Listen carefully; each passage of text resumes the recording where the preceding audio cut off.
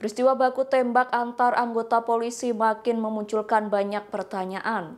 Kini penggunaan senjata Baradae saat melakukan pengawalan terhadap istri Kadif Propam dipertanyakan. Pasalnya dari keterangan pihak kepolisian, senjata yang digunakan Baradae adalah senjata Glock. Sementara itu penggunaan senjata di kepolisian biasanya cenderung terbatas.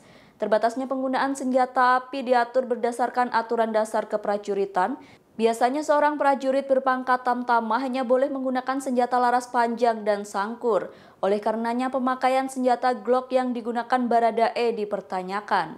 Pasalnya senjata Glock biasanya dipakai untuk polisi berpangkat perwira.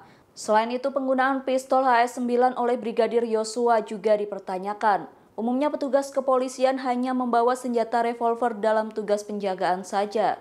Hal itu memunculkan kejanggalan pasalnya keduanya merupakan ajudan istri Kadif Propam, terlebih peristiwa baku tembak terjadi di dalam rumah Kadif Propam Polri. Terima kasih sudah nonton, jangan lupa like, subscribe, dan share ya!